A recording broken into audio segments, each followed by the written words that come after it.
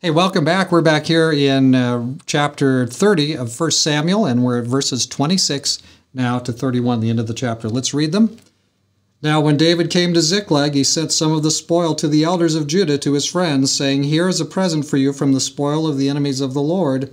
To those who were in Bethel, those who were in Ramoth of the south, those who were in Jattir, those who were in Aroer, those who were in Siphmoth, those who were in Eshtemoa, uh, those who were in Rachal, and those in the cities of the Jerahmeelites, those who were in the cities of the Kenites, and those who were in Hormah, those who were in Chorashan, those who were in Athach, those who were in Hebron, and to all the places where David himself and his men were accustomed to rove.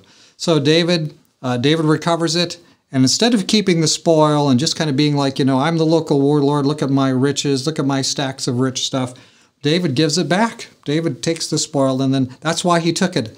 Remember yesterday morning?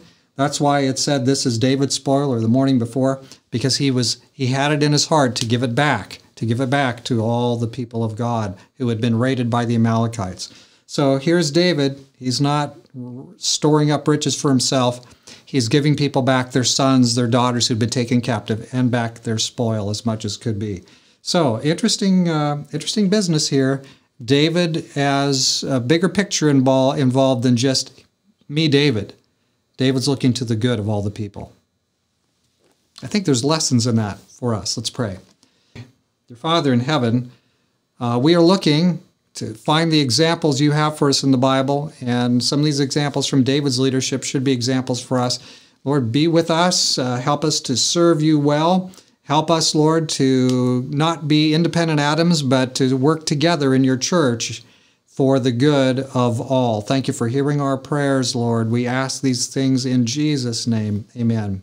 So God has gifts for you and I, but let's share and share alike.